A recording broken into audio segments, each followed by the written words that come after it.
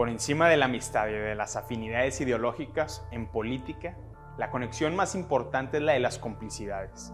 Este es el caso del Grupo Santa Catarina, un enclave de poder en Nuevo León, conectado a la cúpula panista de Raúl Gracia y Seferino Salgado, los dos personajes que durante décadas han dominado el padrón de militantes de Acción Nacional. Por ende, Gracia y Salgado designan candidaturas, vetan consejeros nacionales y condicionan la elección del dirigente nacional del PAN. Hasta hace poco, el poder de la cúpula estaba cimentado en gran medida en el control del municipio de Santa Catarina. El grupo ha impulsado a los alcaldes Víctor Pérez, Héctor Castillo y Jesús Nava. Sin embargo, en el 2022 Jesús Nava renunció a la militancia panista para sumarse al proyecto Naranja del gobernador Samuel García. Se abrió la primera grieta del grupo Santa Catarina. Nava presentó ante la Fiscalía General de la República una denuncia por corrupción contra sus dos antecesores.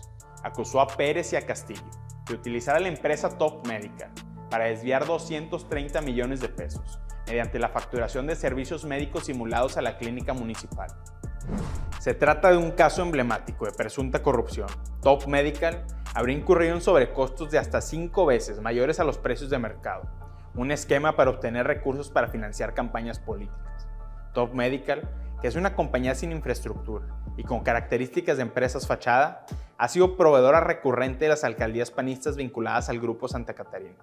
Una auditoría realizada por el gobierno de Jesús Nava encontró diversas irregularidades en relación a los contratos asignados a esta compañía.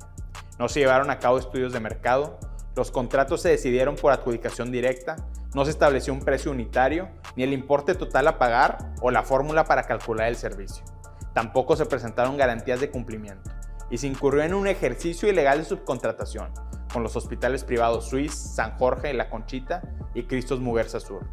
Además, la auditoría encontró falta de documentación para comprobar servicios prestados de radiografías, consultas y pruebas de laboratorio, así como las inconsistencias en reportes, con nombres de pacientes duplicados o equivocados.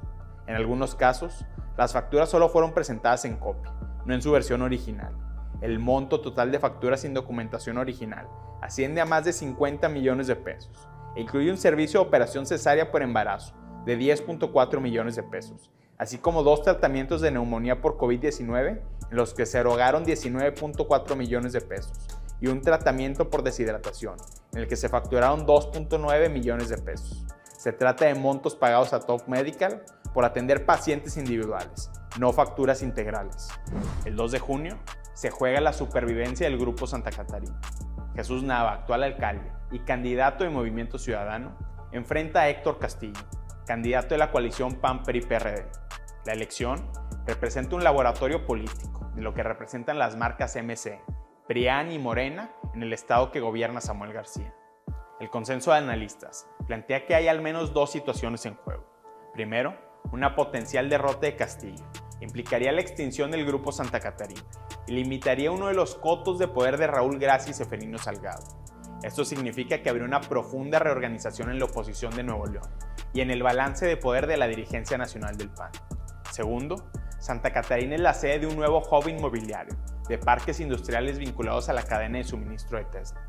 El gobernador Samuel García tiene un interés particular en la zona que va a requerir de cooperación municipal. Esto va a tener consecuencias políticas muy serias. En un contexto marcado por acusaciones cruzadas de corrupción y guerras de encuestas a modo, el War Room de Jesús Nava insiste en que los sondeos más serios lo colocan como el favorito para ganar la reelección. La encuesta que realizó el periódico El Norte en abril arroja la siguiente preferencia electoral. 41% para Jesús Nava de MC, 32% para Héctor Castillo del PAN PRI PRD y 22% para Roberto Espinosa de Morena. El sondeo realizado por la firma Poligrama derivó en un resultado similar, 38% para Nava, 29% para Castillo y 18% para Espinosa. Las encuestas son una fotografía del momento, no una predicción. Además, hay elementos de la elección federal y del clima político del Estado que probablemente influirán en el ánimo del electorado. El resultado aún es incierto, pero lo que es seguro es que estamos frente a la ruptura total del Grupo Santa Catarina.